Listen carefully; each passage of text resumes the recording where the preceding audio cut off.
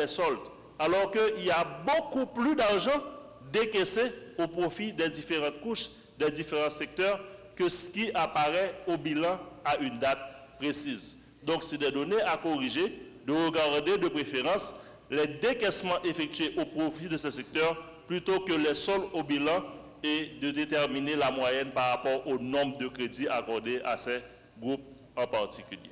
Voilà. Quand il y a un processus de crédit ou bien on attend un processus de remboursement, il y a des étapes, il y a des démarches qui sont faites.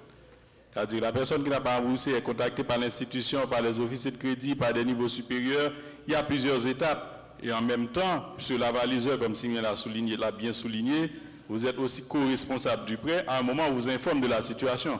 Et quand même, quand on commence à avoir des actions, si ça va, à un certain niveau, c'est certain aussi que si la, si la personne qui a contracté le prêt ne paie pas, en tout cas parce qu'on n'a pas trouvé les moyens pour le faire, c'est certain que les institutions vont continuer à chercher avec les avaliseurs, mais je ne pense pas quand même qu'il y a une attaque directe vraiment directement vers les avaliseurs. L'avaliseur quand même, dans, ce processus-là, je pense qu'il y a quand même un processus d'accompagnement, parce que dans beaucoup de cas, je dois dire aussi, c'est les avaliseurs qui nous ont permis quand même de récupérer l'argent sans qu'eux-mêmes, ils ne seront arrivés aussi à payer. Je pense quand même qu'il y a un processus qui se fait comme ça. Alors tout à l'heure, le, premier point de la question aussi, c'était comme si, quelles sont les causes de non-remboursement? Alors ça peut être de plusieurs causes. Et je pense, je commence avec quand même euh, euh, ce qu'on a quand même de moins en moins, en tout cas pas de moins en moins, mais quand même qui est moins fréquente, mais qui a même une cause aussi, c'est la mauvaise foi.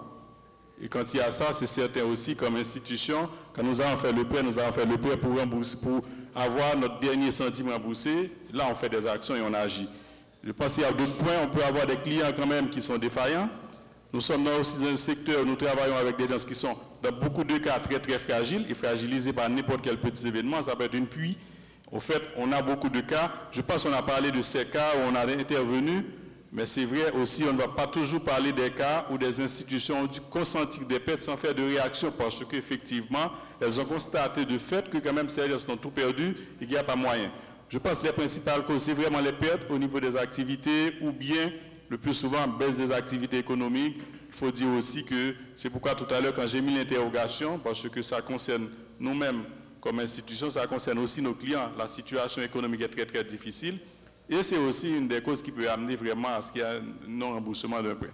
Mais ça n'empêche pas, quelle que soit la situation, on se, donne toujours, on se donne toujours le droit de réagir et d'agir par rapport quand même au décaissement qu'on avait fait comme.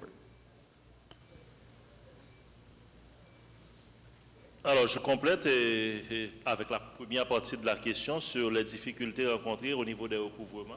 Alors, en bien de cas, c'est l'insécurité grandissante dans ce pays les, les demandeurs de crédit, les utilisateurs de crédit des caisses sont souvent frappés par des cas d'insécurité. Les commerçants se font braquer à longueur de journée quand ils doivent s'approvisionner au niveau des grands centres. Il y a des cas de vol au sein de leur entreprise, même dans leur business. Signor vient de nous raconter des huit points de service déployés sur l'ensemble du pays, les huit points ont été cambriolés. Les huit points de service de Acme qui doivent être sûrement dotés d'agents de sécurité et d'autres dispositifs de sécurité, voire pour les commerçants, les boutiquiers et autres. Ils se font braquer aussi, ils se font voler à longueur de, journée et de ce fait, ils n'arrivent pas à rembourser. Donc, les institutions financières butent à cette difficulté de recouvrement en raison de l'insécurité grandissante qui sévit dans le pays. Alors, par rapport aux avaliseurs, je pense qu'il y a un problème de compréhension et de formation des avaliseurs. Et j'invite les institutions financières à accorder une attention plus particulière à la formation des, avaliseurs. Les avaliseurs ne comprennent pas que dans le cadre de crédit, ils assurent une sorte de vigie, de vigie au niveau de la personne avalisée. Donc, il doit veiller pour l'institution que la personne respecte en tout temps ses engagements. Ça arrive qu'après un mois de retard, que l'institution financière appelle l'avaliseur. C'est juste pour lui informer et l'inviter à jouer son rôle de vigie auprès de la personne avalisée. Et ça, c'est de grande importance pour l'avaliseur. Et chaque fois que l'institution financière appelle l'avaliseur, l'avaliseur se sent agressé. Donc il faut commencer à former les avaliseurs pour qu'ils puissent comprendre qu'ils ont un rôle de vigie auprès de la personne avalisée.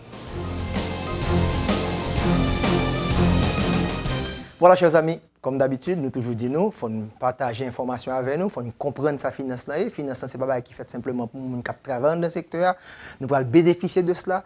Et gens qui sont pas éduqués financièrement, comme nous disons là, nous voyons que la pauvreté est capable de valer terrain sur lui-même.